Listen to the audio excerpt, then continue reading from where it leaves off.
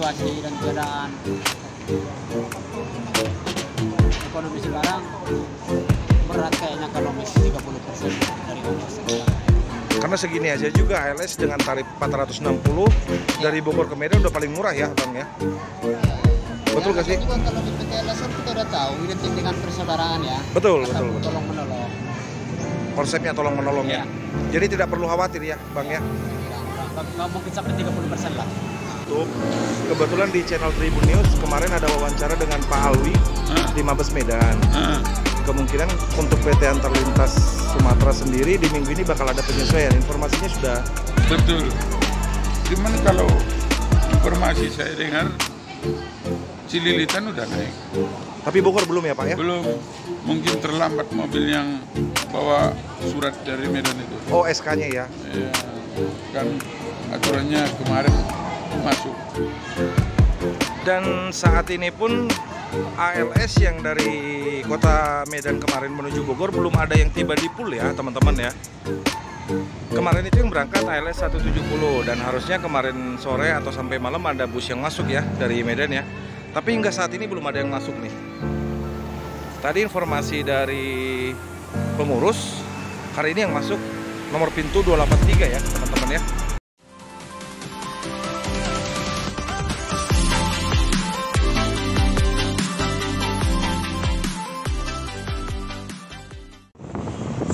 Assalamualaikum warahmatullahi wabarakatuh. Selamat siang teman-teman semua.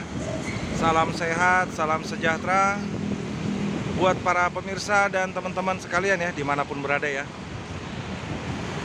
Hari ini kembali pengadang ofisial memberikan liputan Seputar keberangkatan bus ALS dari Pulau ALS Bogor Jalan Raya Kayu Manis ya teman-teman ya. Hari ini tepat di hari Rabu Tanggal 22 September 2022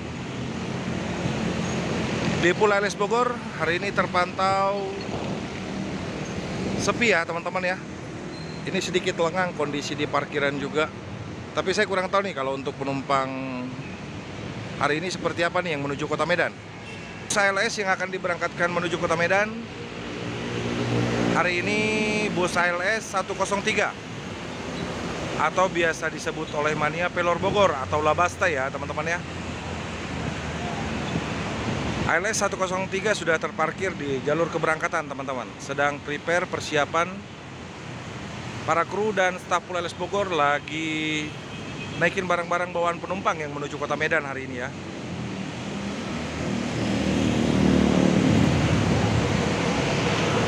Ini situasi tidak seperti biasanya ya di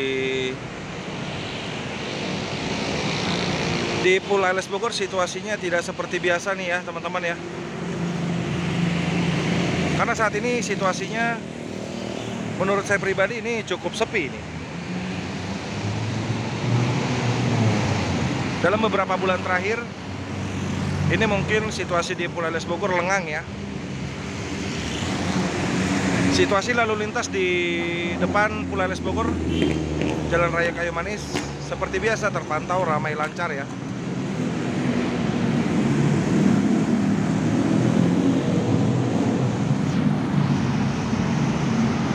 Cuaca sudah mulai mendung di kota Bogor. Situasi sepi yang terjadi saat ini di Pulau Les Bogor. Apakah ada kemungkinan karena dampak kenaikan BBM ya, solar ya teman-teman ya? Karena kemarin itu pertanggal 3 September bahan bakar itu sudah naik semua ya. Pertalite, Pertamax termasuk solar juga ya. Apakah ini mempengaruhi situasi seperti sekarang kita kurang tahu teman-teman ya. Mudah-mudahan sih dampaknya tidak terlampau parah buat kita. Nah, seperti ini situasi saat ini yang terjadi di Pulau Les Bogor ya. Biasanya teman-teman ini parkiran penuh ya.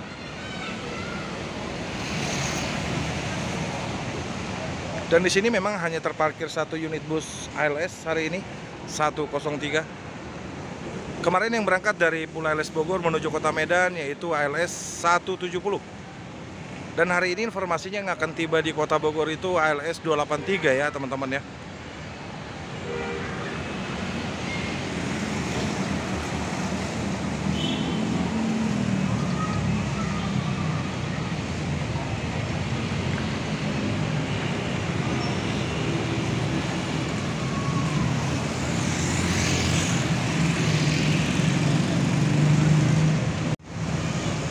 Ini bus apa nih teman-teman nih sedang muter nih.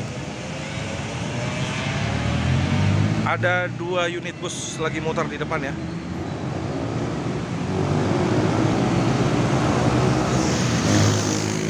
Bus pariwisata SGH Trans.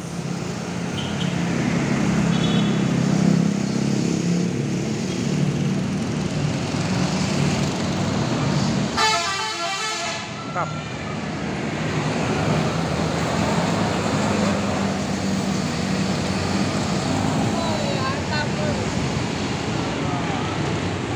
Dan nanti yang akan tiba itu ALS 283 kita belum tahu jam berapa ya teman-teman ya.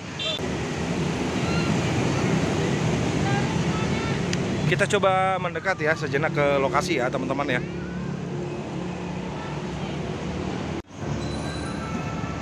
Saat ini di ruang tunggu penumpang sih ini lumayan penumpang yang ada di ruang tunggu nih sudah berdatangan juga sih, tapi belum semua sepertinya. Ini lumayan sih teman-teman. Tapi saya kurang tahu nih yang berangkat ke Kota Medan ada berapa ya.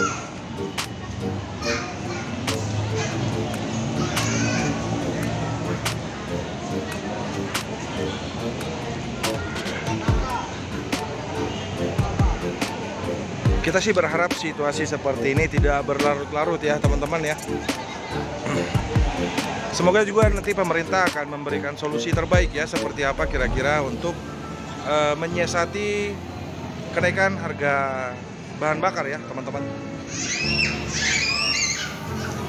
Karena menurut saya pribadi pun kenaikan bahan bakar ini kalau untuk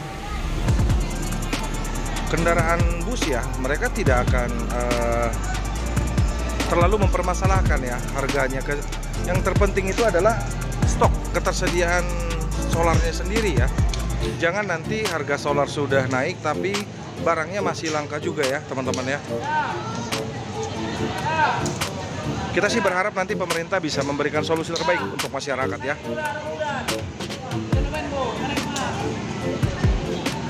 Halo Bang Usnan. Apa kabar? Alhamdulillah sehat. Bang, ini kok di pool hari ini sedikit rada se- sepi kenapa ya? Oh, kurang tahu kemungkinan Ada ada faktor dari kenaikan bahan bakar gak sih? enggak juga sih kemungkinan karena untuk hari ini belum masuk dan juga untuk kemarin juga belum masuk. Ke kenaikannya kan nggak terlampau 30 persenan sih. Nah tinggal ongkos nih. Saat ini kan 460. Harus tahu. Ya para direksi dan pengurus eh, bus PT LS atau Alternatif Sumatera kemungkinan ya nggak mungkin lah sampai 30 persen naik Gak mungkin ya. ya. Soalnya melihat dari situasi dan keadaan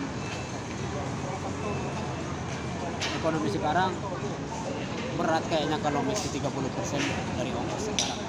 Karena segini aja juga ALS dengan tarif 460 dari Bogor ke Medan udah paling murah ya bang ya. Betul ya, nggak sih? juga kalau di PT LS kan kita udah tahu identik dengan persaudaraan ya. Betul, betul, betul. Tolong menolong. Konsepnya tolong menolong ya. Iya. Jadi tidak perlu khawatir ya bang ya. Nggak, nggak mungkin sampai 30 persen lah. Siap siap siap. Makasih bang Usnan informasinya. Sehat selalu ya bang. Amin. amin. Oke ya teman-teman ya, Eh, kemarin itu memang saya sempat nonton di YouTube di channel Tribun News. Pak Alwi dari Mabes Medan eh, menginformasikan kemungkinan di minggu-minggu ini akan ada penyesuaian tarif ya. Nah nanti kita tunggu aja update informasinya seperti apa ya teman-teman ya.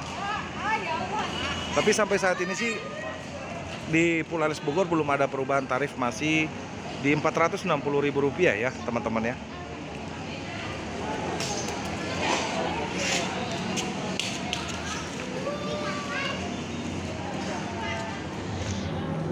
Selamat siang Pak Ansor. Selamat siang juga. Pak, saya boleh nanya sebentar Pak. Ah, hari ini udah ada kenaikan tarif belum Pak? Belum, Belum ya, sampai hari ini masih di berapa Pak? masih di harga lama 46. 460 ya. Iya. Tapi kemarin saya sempat nonton di media YouTube, kebetulan di channel Tribun News, kemarin ada wawancara dengan Pak Alwi Ah, di Mabes Medan. ah, Kemungkinan untuk PT Antar Lintas Sumatera sendiri di minggu ini bakal ada penyesuaian. Informasinya sudah betul. Cuman kalau informasi saya dengar Cililitan udah naik. tapi Bogor belum ya Pak ya? Belum. mungkin terlambat mobil yang bawa surat dari Medan itu. Oh, SK-nya ya. Ya, kan aturannya kemarin masuk. Oh nggak iya. ada yang masuk kemarin kan. Oh iya betul betul betul. Nah, itu Berarti di minggu-minggu ini paling ya Pak Ansor ya. paling tiga tiga hari lagi. Oh iya. Siap. Makasih banyak Pak Ansor. Oke. Sehat selalu. Amin, amin. Nomor pintu berapa berangkat itu hari besok tanggal 8 Nah ini masih disangsikan apa 283 apa 333. oh belum Mana yang duluan masuk lah. belum terkondisi ya pak ya Belum, belum. ya Mana yang duluan masuk. Siap siap siap. Makasih Pak Ansor. Oke. Dan saat ini pun ALS yang dari kota Medan kemarin menuju Bogor belum ada yang tiba di pool ya teman-teman ya. Kemarin itu yang berangkat ALS 170 dan harusnya kemarin sore atau sampai malam ada bus yang masuk ya dari Medan ya. Tapi hingga saat ini belum ada yang masuk nih. Tadi informasi dari pengurus hari ini yang masuk nomor pintu 283 ya teman-teman ya. Saat ini waktu menunjukkan kurang lebih baru jam 1 siang Nanti kita akan lanjut lagi di jam keberangkatan AL1038 ya teman-teman ya. Tetap nantikan informasi eh, seputar keberangkatan bus ALS dari Pangadang Official. Stay tune.